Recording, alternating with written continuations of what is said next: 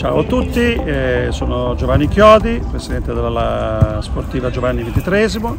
società oratoriale, nata nel lontano luglio 1965, di via Pitteri, zona Ortica Lambrate. Lo scorso anno abbiamo partecipato al bando della Fondazione Costruiamo il Futuro, abbiamo avuto la fortuna di essere premiati con un assegno da 1000 euro, abbiamo aiutato alcuni ragazzi che avevano delle situazioni di disagio economico,